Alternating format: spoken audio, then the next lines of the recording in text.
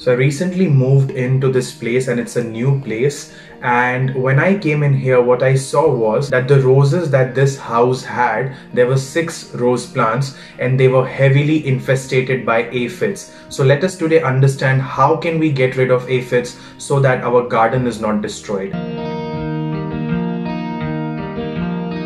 The first thing that I want to share today is that regular checking your plants of your plants, your garden is extremely important because in my case also if you see, I just didn't bring all my plants here because I have around 200 plants. What I did was I came to this place, saw the garden, checked every single plants and I found that they were heavily infested with aphids and I wanted to treat them first before I introduce my plants. Otherwise my plants might also get this infection. So regular checking of your plants is very very very crucial. Now whenever you find the attack of aphids as you can see on this rose plant right now this these are white in color and they can be of several colors like green black and whatnot. So what i want to share today is yes insecticide and organic sprays that kill aphids which are easily available in the garden centers they are an option. But what can i do immediately to get rid of them if i am at my home and i find aphids attack on my garden? Number one is if i have alcohol in my house and if i uh, i can use alcohol what I can do is let's say one liter of uh, water bottle. I can just mix one this size of cup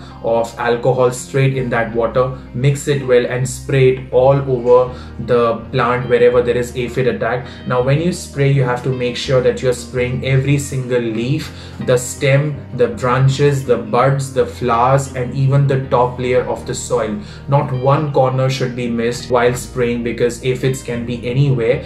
Definitely the top layer of the soil should be properly sprayed with this solution because when you spray the solution on the plant few aphids will drop on the soil and they might not die. So you have to also spray this on the top layer of the soil. And alcohol will literally burn the aphids. Similarly they can burn mealybugs as well. So using alcohol is the easiest option i would say. Now if you are someone who does not consume alcohol and you don't have alcohol at your home if you have hand sanitizers which have isopropyl alcohol in them using them is not a bad option because again it's alcohol. So what you can do is in one liter of water you can mix 10 12 drops of hand sanitizers because aphids we need to kill them so 10 to 12 drops should be fine. Mix it well and spray it everywhere. Even if there are uh, there are plants which are not infested with aphids but are surrounded um, uh, with the plants which are infested you should uh, spray on them as well just as a precautionary measure I would say. There are several other options such as using using neem oil which is again very easily available in garden centers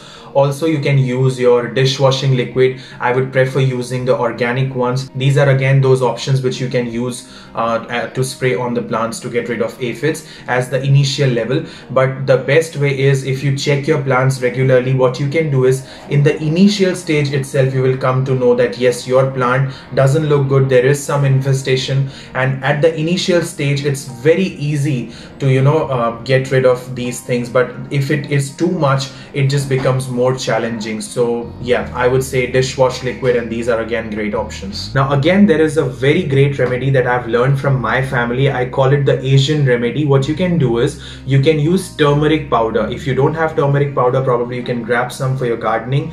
Turmeric powder is a great great ingredient that you can use in your garden because it will kill all these uh, mealybugs, aphids and spider mites and whatnot. So you can use a mixture of turmeric powder and uh, in the water and you can spray it directly on your plants. Now let's say you want something else. What you can do is you can boil, you can have water and you can boil some garlic along with onion in it and this water after it cools down you can straight away spray it on your plants because garlic and onion water will kill aphids and mealybugs easily. There is one more uh, thing that you can use as an ingredient and that is mixing your water with any sort of oil. Now it can be any essential oil. There are several available online as well. It can be olive oil, it can be vegetable oil. Let's say 5-6 spoons of oil in water or uh, 1 liter water. You can mix it well and straight away spray it. This will also help you to get rid of aphids as well. Now whenever you see that there is aphid attack or mealybugs attack on your plants,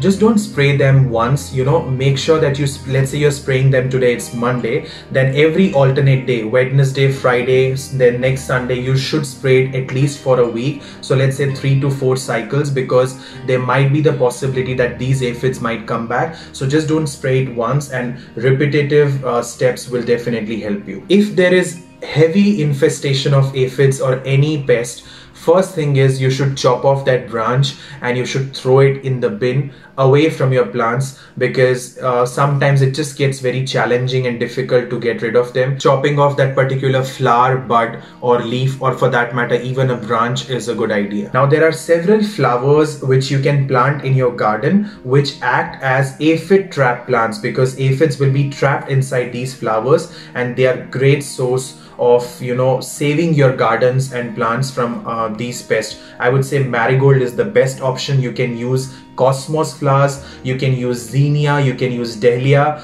the and you can also plant herbs in your garden you know every nook and corner. You can plant mint leaves basil chives garlic. Planting these things in your garden will also help the other plants to get stay away from pests. But let's say you don't have such uh, so many spaces. My personal favorite is honestly marigold. What i do is wherever i've planted my other plants and flowers and vegetables for that matter i have definitely planted marigold in every nook and corner that is possible. So I hope you enjoyed this video learning about how to get rid of aphids and you should definitely get rid of them because they will suck all the nutrients, the liquid from the plant, the food from the plant and then the plants will go yellow, they will just die in some time and these are really really those unwanted guests that you never want to have in your garden. So the earlier you treat them, the better it is for you and your garden. With that, uh, I'll take leave for today and see you in the next video. Bye bye.